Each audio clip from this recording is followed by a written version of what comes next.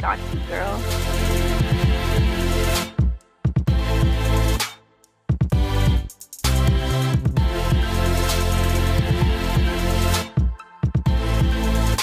This life of crime is growing on me.